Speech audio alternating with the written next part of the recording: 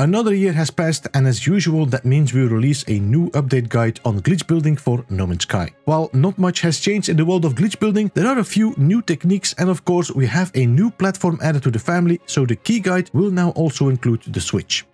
Apart from that, I hope to simplify and make everything as clear as possible for aspiring glitch builders. Before we start with the more challenging techniques, we'll cover two distinct methods that don't involve any actual glitch building but can deliver some amazing results. The first technique is used for blending parts together and is relatively straightforward. The second technique we refer to as the tether glitch. Though it's not a real glitch, using this tethering method you can create some truly remarkable effects. And it serves as the foundation for one of the glitches featured later in this guide.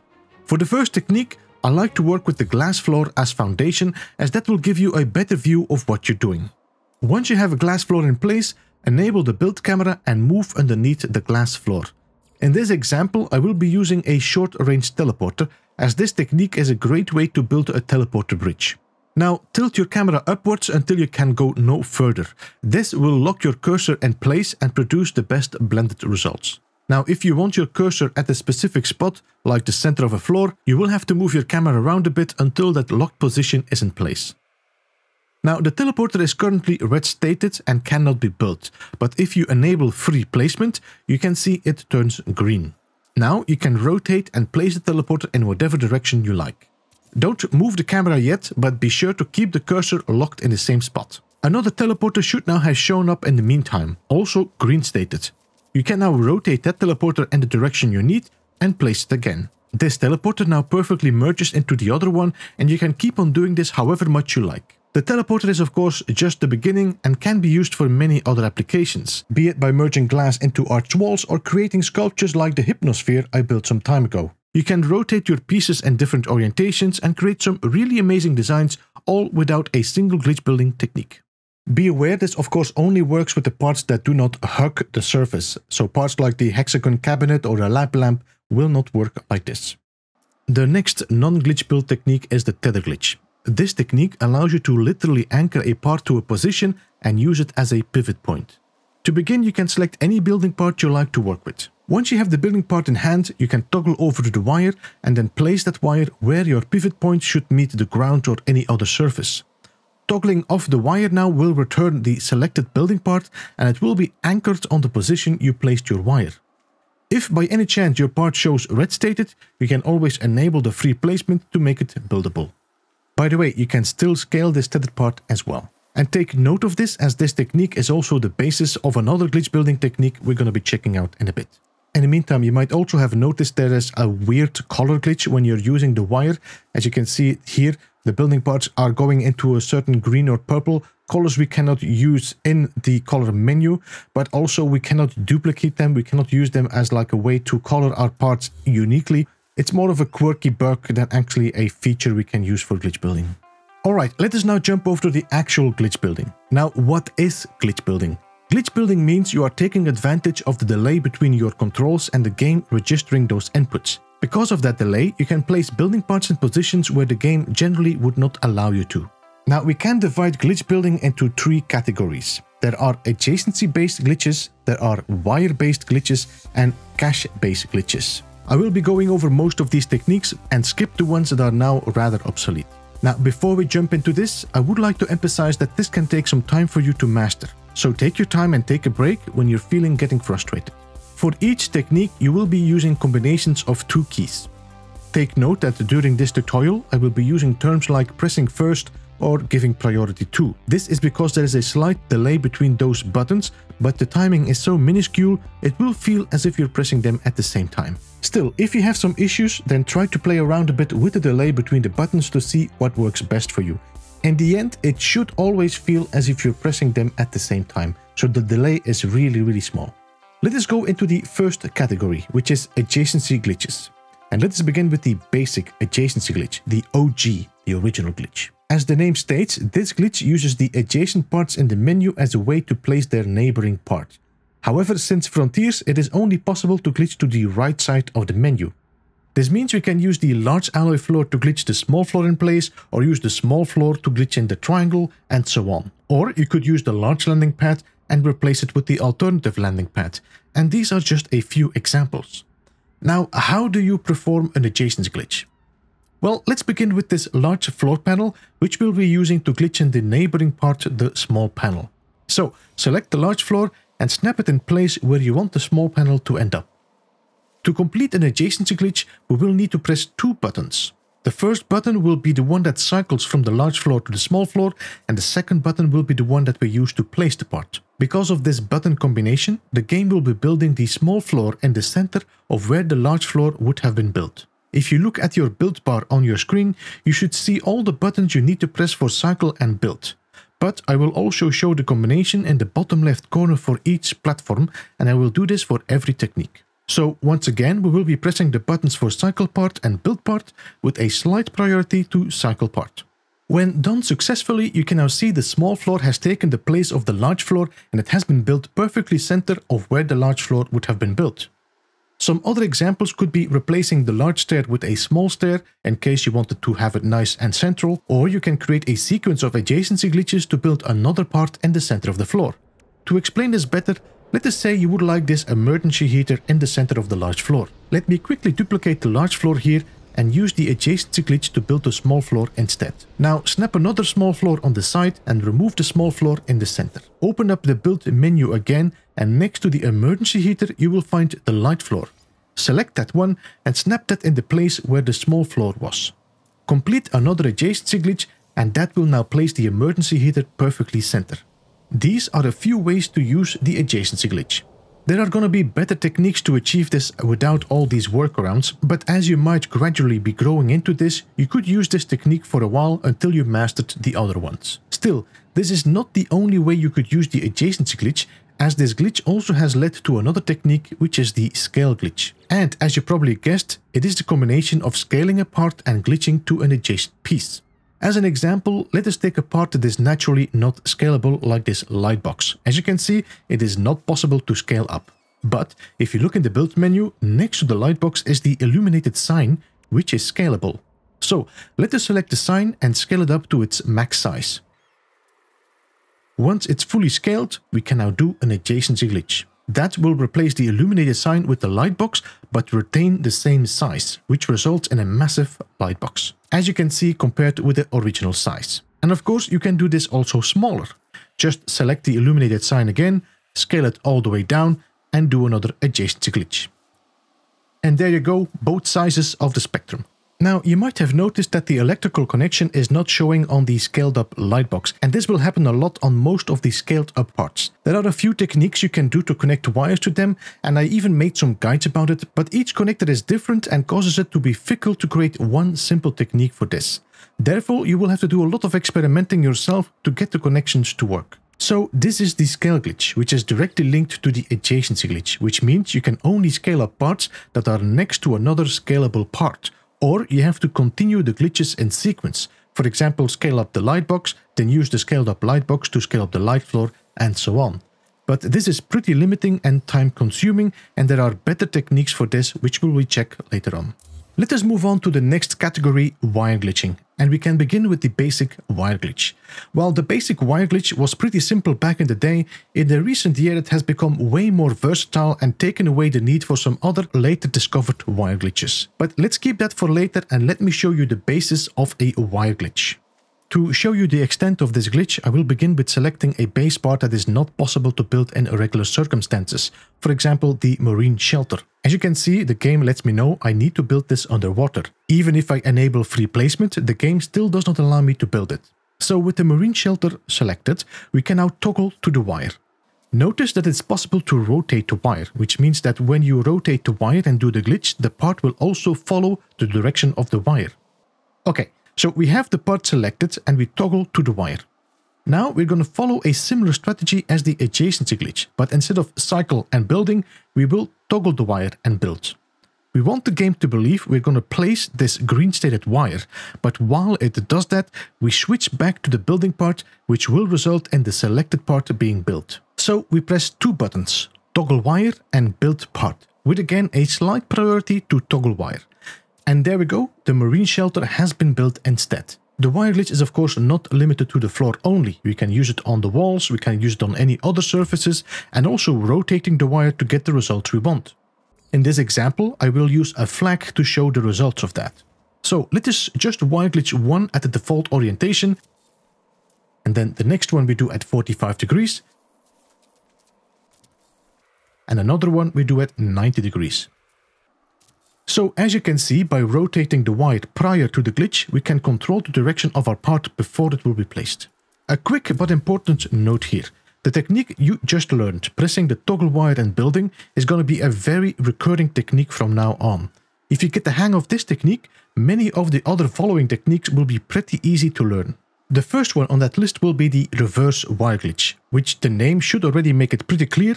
Instead of using the wire to glitch a part, you use a part to glitch a wire. This technique is going to be very important for you if you want to create perfect glitch points at a fixed position, build circles, set up building grids and so on. While the result is different, the technique is just the same as we did a wire glitch. We just start from a different situation. So let's quickly duplicate this floor here, snap it against here, and now we simply press the same button sequence as we would do a wire glitch. Toggle wire and build. And there we go. We now replace the floor with a wire connector perfectly centered on where the floor was snapped. However, we are still stuck with the other end of the wire, and while we can now place the other end of the wire on the surface of this floor, the results will be pretty unsatisfying when glitching on that connector. By the way, you can wire glitch your parts on existing connectors. This used to be called blender glitch, as the connector can be used to glitch several parts in one position. But as of late, I've simply been referring this all into one technique, which is the wire glitch. Especially as the wire now can be free placed and rotated, both the blender and the banjo glitch are pretty obsolete now. If you would like to learn more about the directionality of the wire, then I would advise you to check out my guide about controlling the wire, which I will link in the description.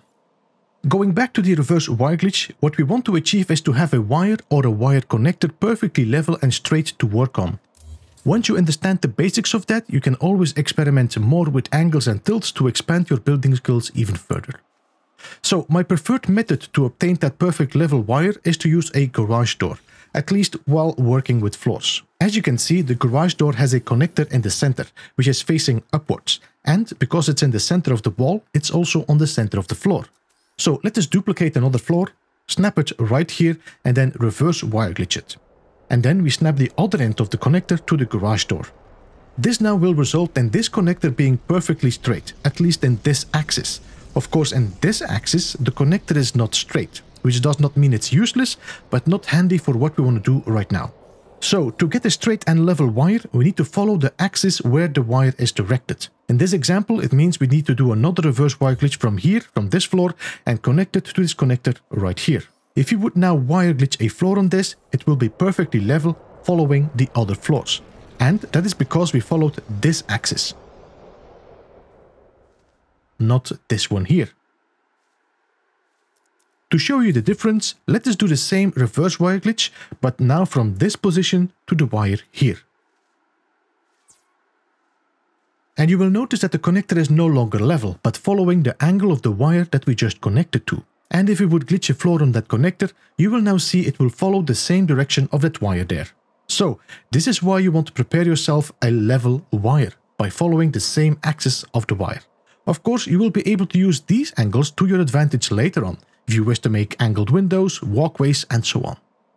If you recall us glitching the heater in the center of the floor by using the adjacency glitch, now we can simply select the emergency heater and glitch it on the connector of the floor with the same results. Plus, the advantage of this is that you can keep using the same connector to glitch parts on, so you can blend and merge them together and create something entirely different and unique. Oh, I should also mention that if you build in other game modes that require resources to build, the wire glitch will build your parts even if you do not have the resources at hand, which is why the wire glitch also has become known as the golden glitch. Alright, we have reached the final category, which is the cache glitches. Cache glitching is a powerful tool for experienced builders.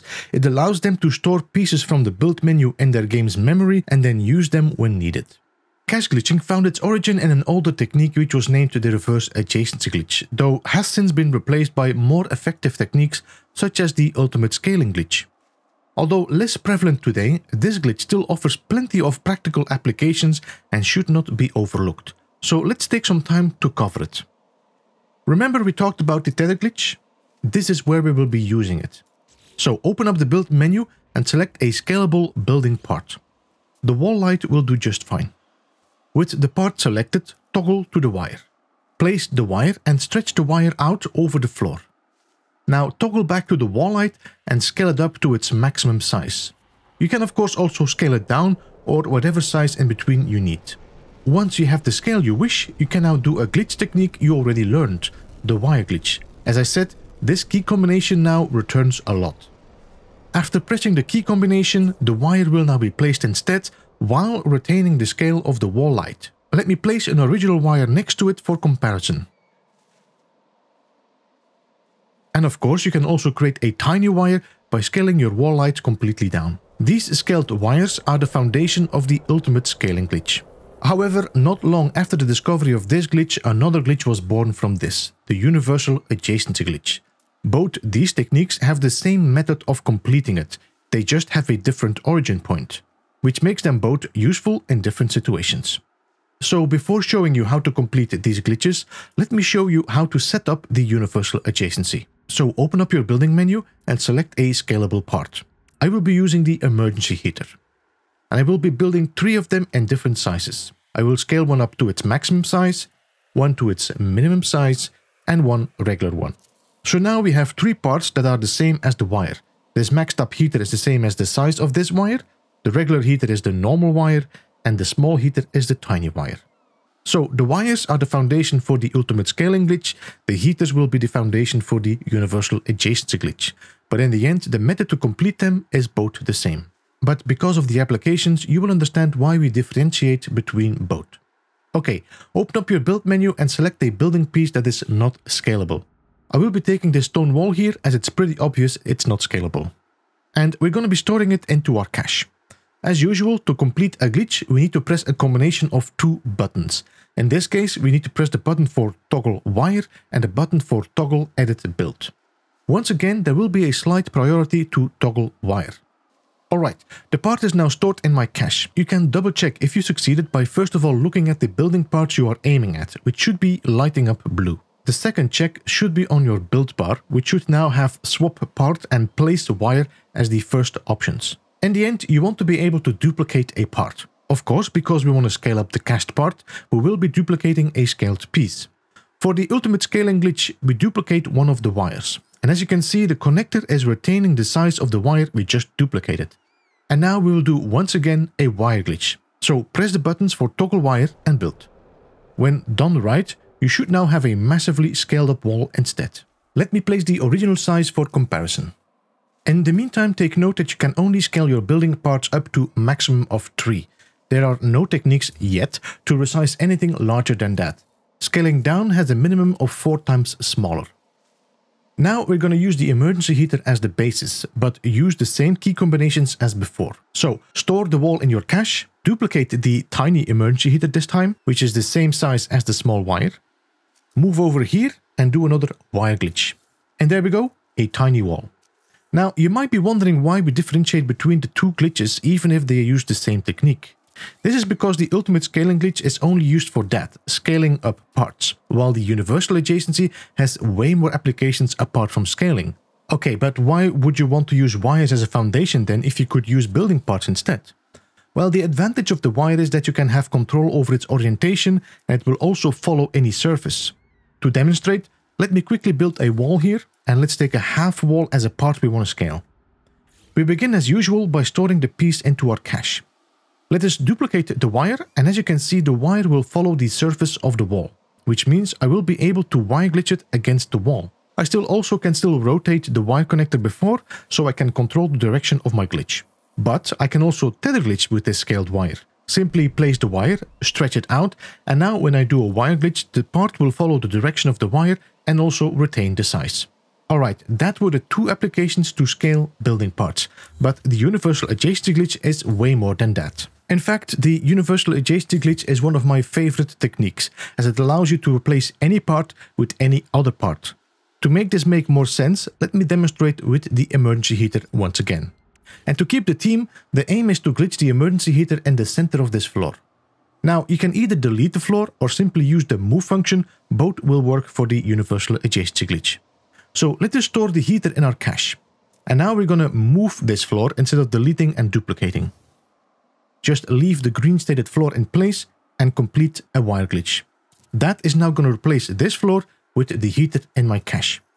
And now we can duplicate the floor again, snap it in place, and you can see the heater is now merged in the center of the floor.